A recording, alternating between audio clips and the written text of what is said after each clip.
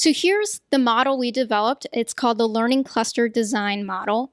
And it's it's a model because it's both a uh, philosophy and a process, meaning that there's a way of thinking that supports this model and a way of doing.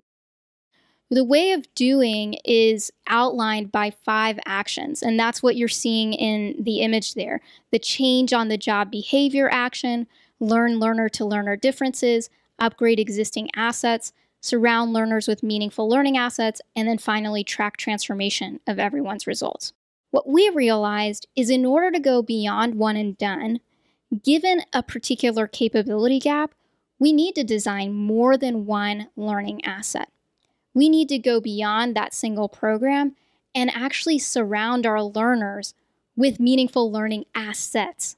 So, this model's goal right from the outset is about designing more than one thing given any particular business um, capability challenge. The second big way of thinking is that we want to target changing on the job behavior.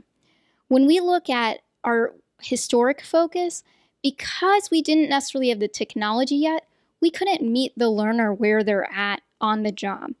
Um, and so it was a black box. What happens after the classroom? What happens after the e learning? What happens after they watch those videos?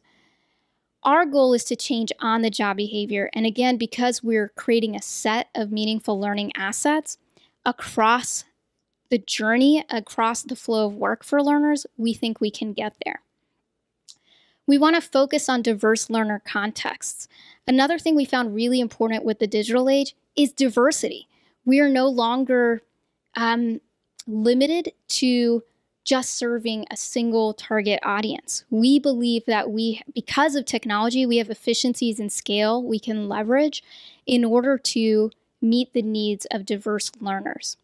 And then the last piece is designing the whole, not just the parts. As we get into modern learning, a lot of folks are thinking about more than one asset. They might be designing blended learning. They might be designing a set of videos here, a classroom training here, a social learning experience here. But thinking about how all those pieces work together and aren't just designed separately, having those pieces have an anchor, um, a core, a core piece that they're really going after. That's what's different with the LCD model. So I want to share about the learning product, the end thing. So I keep saying a set of learning assets.